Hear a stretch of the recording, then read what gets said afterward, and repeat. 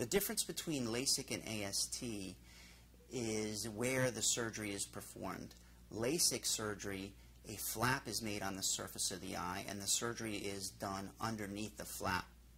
When the flap is replaced, it is almost like no surgery was done to the eye. There's very li little healing time and your vision recovers very quickly, usually within 24 hours. With AST procedure, we do the procedure right on the surface of the eye. This um, has several advantages in that it saves tissue and um, you don't ever have to worry about a flap, but the recovery time is much longer. Your vision takes anywhere from a week to two weeks to start coming into um, a level where you feel like you're functioning well, and it takes up to six months to get to your final visual acuity.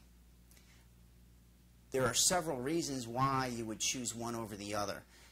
AST or surface treatment without a flap is very good for people with thin corneas. Their cornea is not thick enough to make a flap.